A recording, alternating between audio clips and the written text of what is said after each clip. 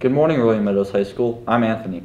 And I'm Omar, and these are your weekly announcements.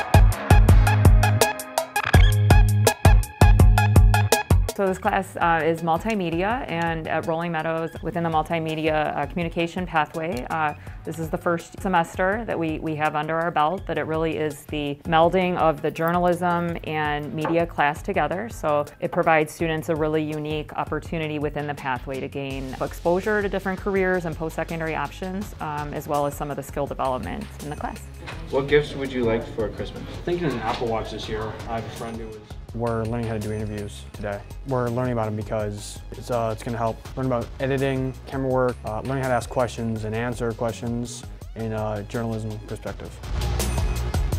Um, the thing I like about editing is definitely the music. It's the reason why your brain sparks and like you have these ideas for what you want to edit or what you want to shoot. Ever since I was little, I always wanted, like I, I loved the passion of editing, but I never had like a job for that until high school started and this started. So now I want to go to film school and continue doing whatever I wanted to do. The thing I really like about co-teaching, especially in the intro class, is it allow our students to have one-on-one -on -one instruction.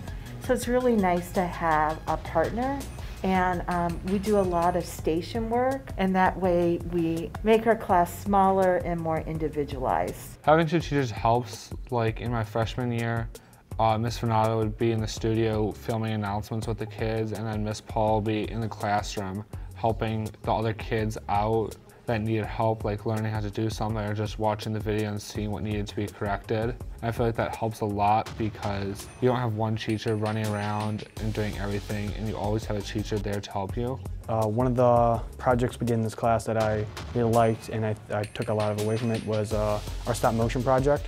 Uh, working with editing on it was really great because we had a green screen, we had to work on timing for the frames and where, what photos would go in what order, and like dad really like that you know, with the melding of the pathways with journalism and uh, multimedia, I think it's only going to help strengthen student skills within uh, their written expression.